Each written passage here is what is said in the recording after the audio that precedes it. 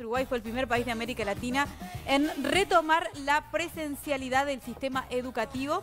Se hizo por etapas para evaluar la respuesta ante la emergencia sanitaria del coronavirus mientras se mantenía la formación a través de aulas virtuales. A partir de la semana pasada volvió la obligatoriedad de la enseñanza, pero la presencialidad no ha aumentado todavía. El viernes el presidente del CODICEN de la ANEP, Robert Silva, anunció cuál va a ser el cronograma de toda esta vuelta a clases. Así que es por eso que hoy lo recibimos, entre otras cosas, ¿no? Para hablar de muchas cosas, hay muchas cosas para hablar de la educación. Bienvenido, Robert, muchas gracias por estos minutos en Vespertina. Gracias por la invitación, un gusto estar acá. Bueno, primero que nada, estos anuncios que, eh, digamos que en un momento se habló de que de repente las clases iban a tener que extenderse, ¿no? y que, o que iban a tener que empezar antes. Y en realidad, en este cronograma, las clases terminan más o menos como terminan un año lectivo cualquiera y empiezan también el primero de marzo o el, digamos, entre el primero y el, 8. de marzo, como en un año lectivo cualquiera. ¿Por qué se tomó esta definición de hacerlo así y cambiar la orientación de cómo se va a ayudar a los que están, digamos, con necesidad de ser ayudados? Por la circunstancia excepcional, nosotros evaluamos que tenemos un conjunto de estudiantes un número importante de estudiantes que han eh, tenido situaciones de diversa naturaleza que ha determinado que no mantuvieran la vinculación necesaria, que no tuvieran el desarrollo de aprendizajes esperados o que directamente este, no estén más en el sistema. Entonces entendimos pertinente en un marco de mucho diálogo con los referentes técnicos del sistema, gente de carrera que está en distintas ubicaciones dentro de la educación, este, establecer esto, es decir, más o menos terminar donde estaban previsto que terminaran con todos aquellos que han promovido, es decir, que tienen nota, para entendernos, nota de promoción, de suficiencia, que adquirieron los aprendizajes esperados en cada grado. Con los que no lo lograron, esto es, eh, más allá del 18 de diciembre en primaria, del 11 de diciembre en el ciclo básico, primero, segundo y tercero de liceo de UTU, y 20 de noviembre en el caso del bachillerato vamos a desarrollar estrategias em, en diciembre, en media, ¿verdad? Una segunda oportunidad, una segunda chance con aquellos que seguramente están eh, con poca... Más rezagados, claro, claro, están más rezagados, pero con poca distancia en adquirir aquellos aprendizajes fundamentales y poder promover. Y luego vamos a tener una tercera oportunidad en febrero. Esto es para el caso de los liceos y de la UTU y no va a haber exámenes en, diciembre porque no están dadas las condiciones y va a haber evaluación. ¿Y los que quedaron rezagados en secundaria? bueno, para ellos sí va a haber exámenes. Es decir, va a haber exámenes para los que deben de años anteriores.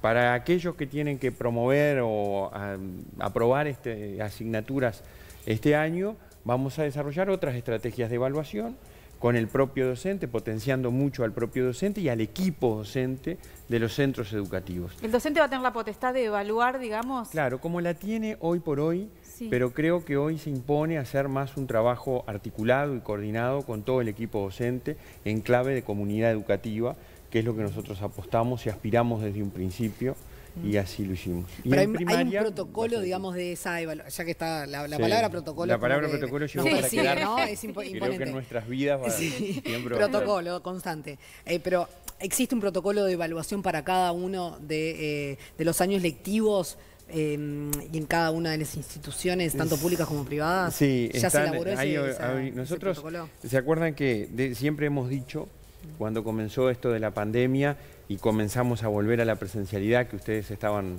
acordando ahora, ¿no? Tiempos tan difíciles, aquel 22 de abril cuando arrancamos, eh, establecimos orientaciones y lineamientos generales. Llevamos a la práctica lo que mucho se dice en el discurso, que es dar autonomía a la gente en las escuelas, en los liceos, a nuestros docentes, a nuestros maestros, que ellos puedan resolver las situaciones que cotidianamente, en forma situacional, se les presentan también es darle una, darle una responsabilidad, es soltar una responsabilidad. es dar una responsabilidad y vos sabés que yo confío ampliamente en los docentes y en los equipos. Y creo que nosotros tenemos... Pero no es dejarlos un poco solos también. No, al contrario. No sabés cómo agradecen. Porque el problema de nuestro sistema educativo, ¿saben cuál es?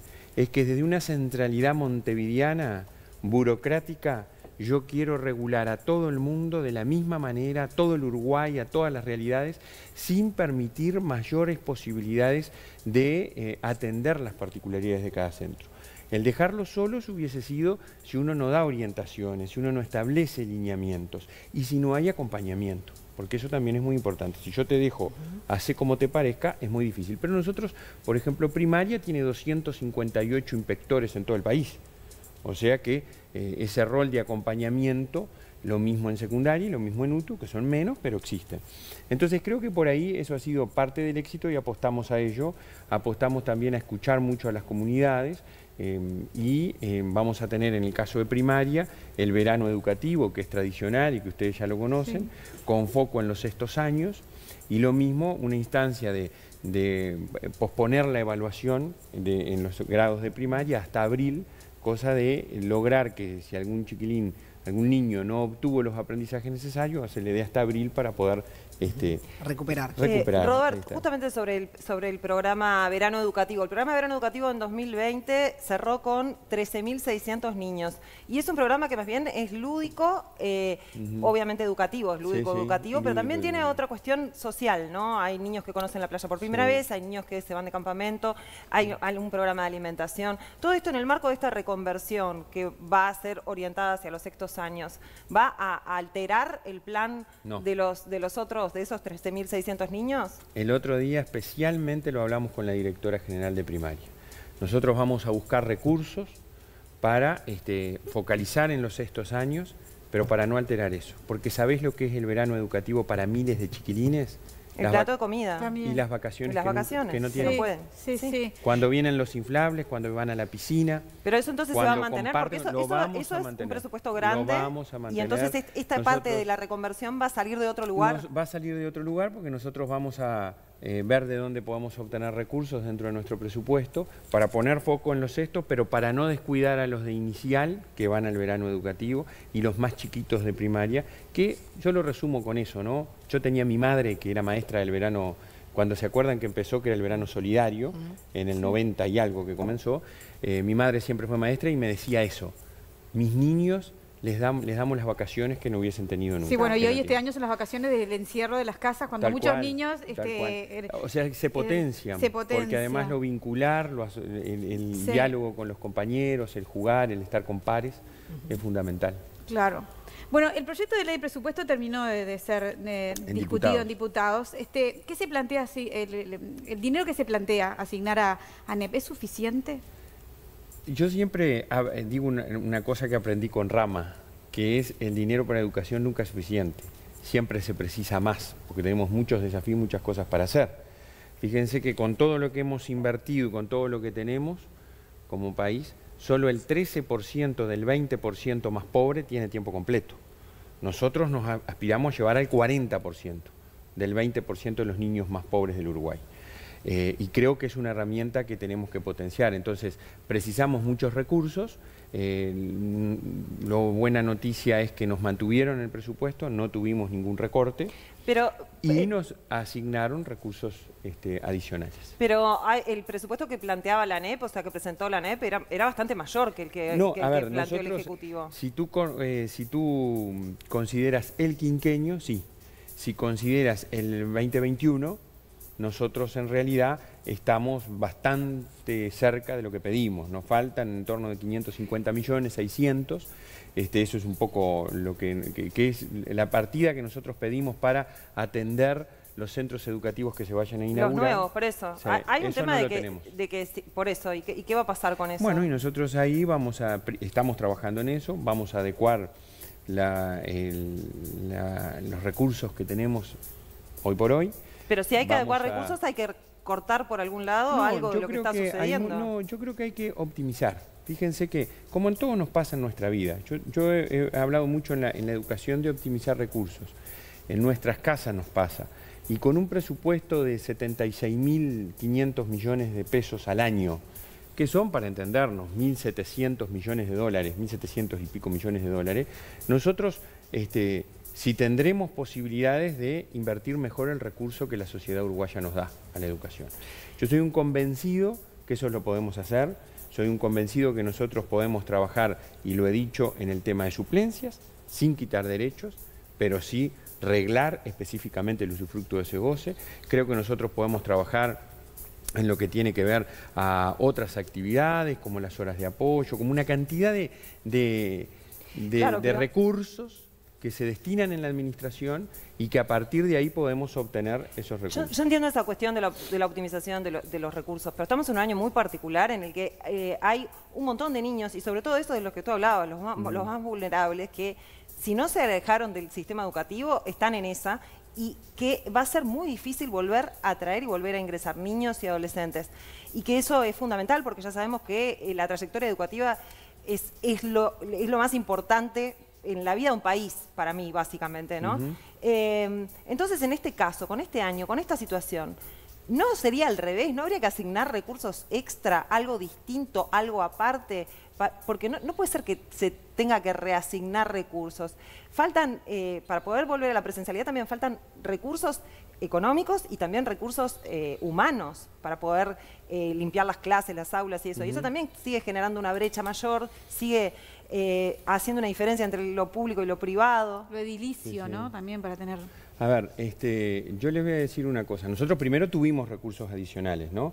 tuvimos 755 millones de pesos adicionales en nuestro presupuesto, o sea que para el 2021 y después tenemos 255 millones adicionales todos los años.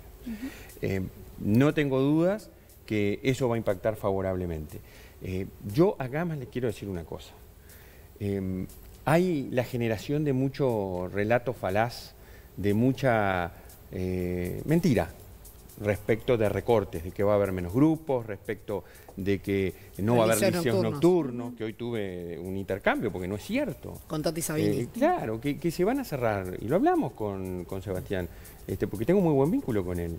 Eh, ¿Y por qué lo dijo? Y lo dijo porque hubo una manifestación pública que decía no cerrar el liceo nocturno y quedó como instalado que se iba a cerrar. Y que se iba a cerrar. Y están publicados ese día los grupos que se van a abrir en ese liceo nocturno. ¿Y por qué esa manifestación? Y esa manifestación seguramente porque hay toda una generación de, este, em, de relatos dentro de las comunidades educativas de que se va a cortar esto, de que se va a cortar Bueno, estamos en un tiempo de eso, ¿no? Que el boleto, que, las meriendas... el otro día se este generó toda una discusión que se iba a sacar el boleto estudiantil y que vamos a salir a defender el boleto estudiantil. Bueno, no es cierto. Primero hubo un comunicado que, como lo dijo el ministro, yo lo puedo decir, no fue feliz. Pero ese comunicado nunca decía que se iba a sacar el boleto. Ese comunicado decía que se iba a cumplir con la resolución. Era confuso el comunicado. A ver, ese comunicado, yo no voy a defender un comunicado con el cual no, ya dije lo que pienso, pero ese comunicado decía que se va a controlar lo que dice la resolución que hay que cumplir para tener derecho al boleto. Yo, sin embargo, creo que hay que ir mucho más allá y que el boleto uno no es solo no solo estudia cuando va al centro educativo. Claro, eso... Estudia en muchísimas otras, cuando va a estudiar con el compañero, cuando hace una salida recreativa, eh, didáctica, cuando va al teatro, en fin. Es un decreto de Mujica ese, ¿no? Es un decreto, de Mujica que dice que tenés que estar a más de un kilómetro del centro estudio para tener derecho al boleto, lo cual para mí está mal porque... Claro, y que el boleto es para ir de tu casa al centro educativo, lo dice esa resolución. Sí. Este, pero igual, controlar eso, ahora es una gran discusión. Nosotros acá llegamos para decir, bueno, miren, nosotros queremos preservar, mejorar y aumentar los derechos de nuestros estudiantes. Queremos mejorar la educación. Ahora, hay una cuestión que, es, eh, que además nos corresponde. Nosotros no vamos a seguir haciendo exactamente lo mismo que se venía haciendo hasta ahora. Y cada vez que nosotros anunciamos que vamos a hacer algo respecto a alguna medida, surge el fantasma del recorte y que se van a cercenar derechos. Hay una realidad, señores. Nosotros tenemos problemas en la educación muy importantes. Yo comparto lo que tú decías. Ha sido la historia, seguramente es tu historia, es la mía. Por haber tenido una gran familia y la educación que estuve, hoy estoy acá. Entonces, vaya si nosotros queremos potenciar a la educación como herramienta de oportunidad, de progreso, de movilidad social, de justicia social. Pero para eso hay que hacer las cosas distintas.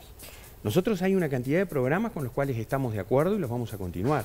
Hay otros que, hay que revisarlos y hay que evaluarlos y hay que analizarlos y decir, bueno, ¿qué impacto están teniendo? Si yo invierto este, estos recursos en este programa, ¿qué impacto están teniendo en los aprendizajes de los chiquilines? Entonces, a partir de ahí, eh, ver cómo podemos seguir mejorando. ¿Qué plan no te convence? ¿Qué plan no me convence? Bueno, eh, yo te voy a decir francamente que creo que nosotros, ya que está en el tema, no va a pasar nada para el 2021, no se van a cerrar ni ahora ni a futuro en esta administración los liceos nocturnos, y lo digo, y esto queda grabado, y me comprometo. Ahora, yo creo que hay que revisarlos. Los liceos nocturnos tal como están pensados, ¿atienden la necesidad de la gente? ¿O nosotros podríamos explorar sin cercenar derechos otras posibilidades? ¿Cómo El gran- por ejemplo, la educación semipresencial. No tener a las personas tantas horas sentadas en los establecimientos educativos, sino generar herramientas de intercambio, porque además hemos invertido muchos recursos en tecnología en la educación. Tenemos posibilidades.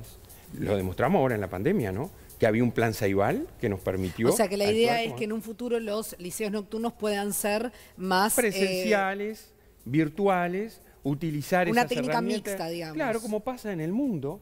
Generar también pruebas de acreditación. Es decir, ustedes saben, yo lo decía hace un rato en, un- en un colega de ustedes que, que conversé, nosotros tenemos 1.400.000 uruguayos mayores de 29 años que no tienen bachillerato.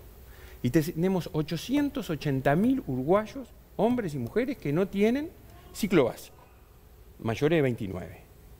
El liceo nocturno le da, bueno, tiene que ser el liceo nocturno junto con otras estrategias y otras puede ser Por ejemplo. la acreditación.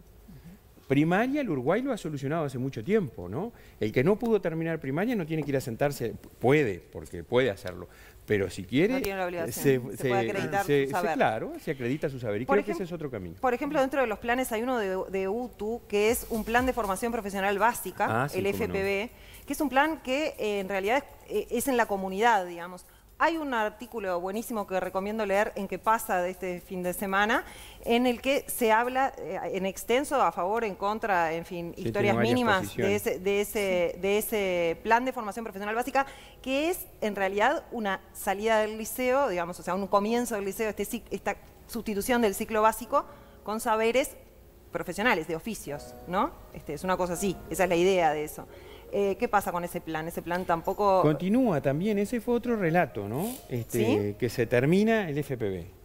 Bueno, les digo a todo el mundo, la formación profesional básica de, de UTU no se termina, va a continuar. O sea, nosotros no podemos seguir eh, que los padres o las madres estén en permanente incertidumbre de que esto pasa, de que no pasa. Hay que salir a decir las cosas como son. El FPV va a seguir. va- el FPV va a seguir. ¿Qué es lo que está reviendo UTU en este momento? El FPV desde su comienzo fue concebido, y en particular en determinadas orientaciones, que están con talleres y que están con máquinas, cuyo uso determina eh, adquirir de la mayor brevedad posible determinadas destrezas, que era un plan para incorporar los que se habían ido del sistema educativo. Sí, para traerlos 15 de años o más, traerlos y que pudieran acreditar el ciclo básico y tener una formación, un inicio en una formación específica. Tecnología, carpintería, entre otras, robótica. Eso va a continuar. ¿Qué se hizo hace unos años atrás que incluso eh, con informes negativos de la Asamblea Técnico Docente, la cual se manifiesta a favor de hacerlo ahora, fue decir, bueno, egresan de primaria y pueden ingresar al FPB. Esto se ha ev- evaluado que no ha sido favorable. Yo recuerdo visitar escuelas de UTU y que los docentes me dijeran, es un error, porque el plan está concebido para otra población, no para un niño que recién egresa de primaria. Se genera problemas de convivencia. Incluso las Se- edades, ¿no? Claro, Claro, por eso. Se genera un tema muy Claro. problemático. Recuerdo varias UTU que visité como consejero cuando era consejero representante de los docentes y me lo contaron. El Consejo Actuario evaluó, ¿qué dijo? Los estudiantes que, que salgan de primaria y quieran hacer UTU, van a- ¿no tienen posibilidad de hacerlo? No. Van a poder hacer el ciclo básico tecnológico y se van a diseñar estrategias de acompañamiento para esos estudiantes. El FPB se va a mantener para, como un plan extraedad, sin perjuicio, también lo dijo UTU, si llega a haber alguna situación específica que debemos atender, se va a abrir el FPB para los que egresan de primaria. O sea, acá no hay ningún recorte. N- Se, se sustituye una oferta por otra, se vuelve al origen y se va a evaluar el FPB. Porque ¿saben cuál es el problema? Nosotros tenemos que dar efectivas oportunidades. Si tú tienes un plan que el 50% o más repite y que abandona otro tanto por ciento y que solo 4 de cada 100 del FPB termina en bachillerato.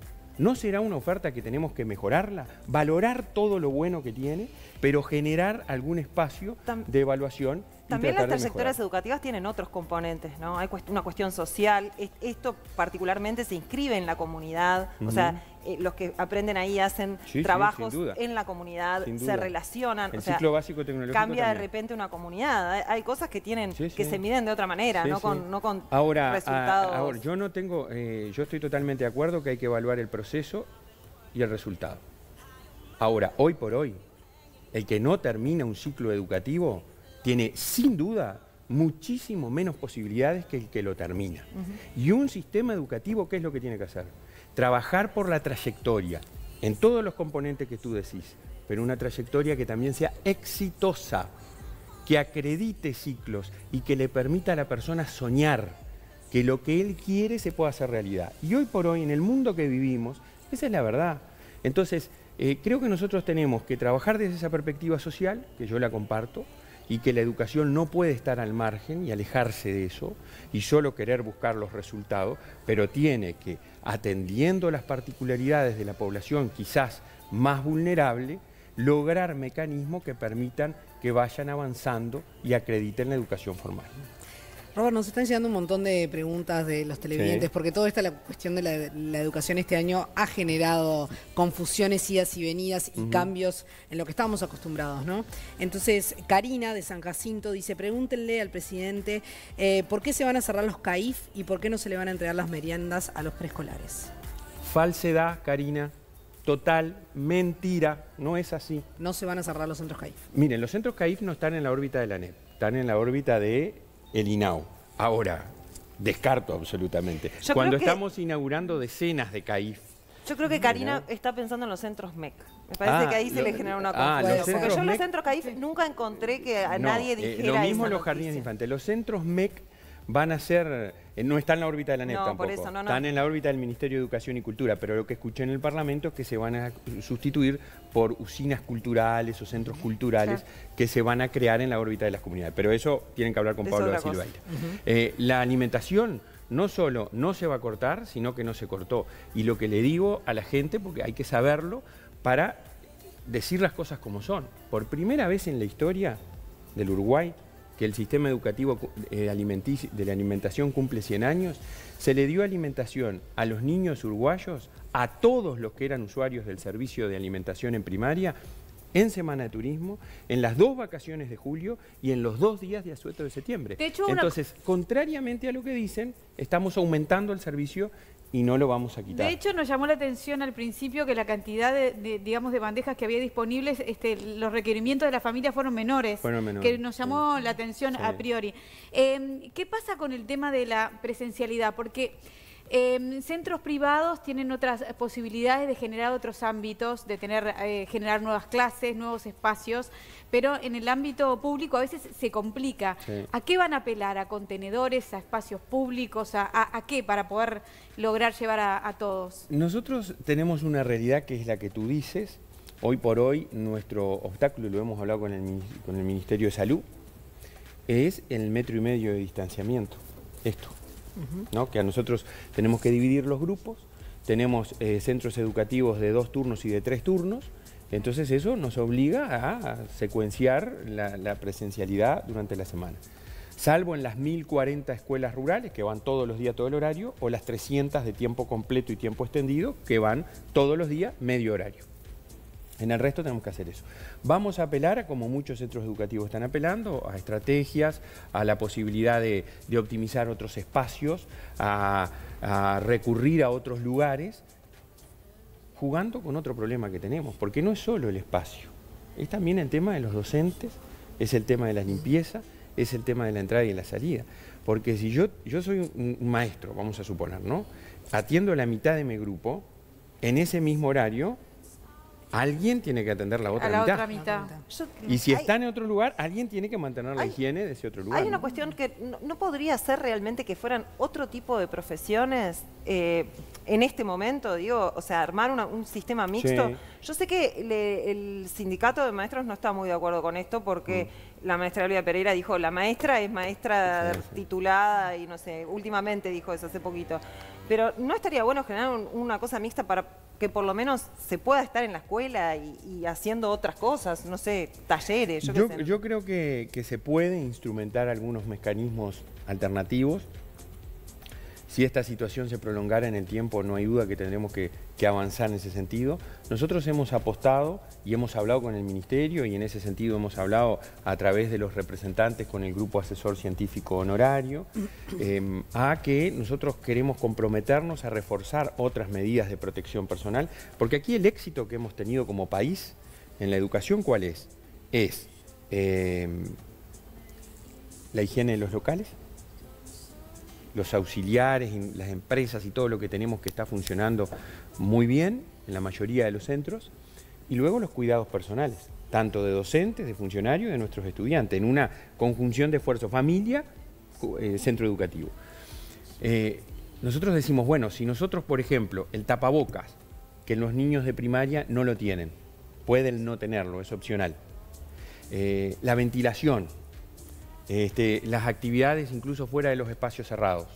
Nosotros nos comprometemos a eso, a tenerme permanentemente ventilado, al uso de tapabocas permanente, a tener el mayor distanciamiento posible si nos habilitan a eso, nosotros podemos volver en la enorme mayoría de los lugares a una presencialidad diaria todo el horario. Claro, el otro día hablaba con una mamá de una, de una chiquita que me comentaba, dice, mira, el centro educativo tienen una escuela pública, ¿no? Este, tenemos todos la, mayor, la mejor intención, incluso los padres, porque también el, equipo de, este otro lado, digamos, de la, familia, la familia como, claro, un activo participante de toda esta historia, nos decía, pero el, eh, lo que tienen eh, de insumos, digamos, los desinfectantes que tienen ya para todo el año, adjudicados para todo el año, se está terminando rápido. Entonces, este, ¿cómo se maneja en esas situaciones? No, estamos en este momento, estamos, miren, yo, em, si no la firmo hoy, vamos a confirmar mañana, una nueva compra de alcohol en gel, ya tenemos alcohol diluido al 70%, tenemos hipoclorito, estamos con un próximo reparto que incluso en algunos subsistemas ya comenzó.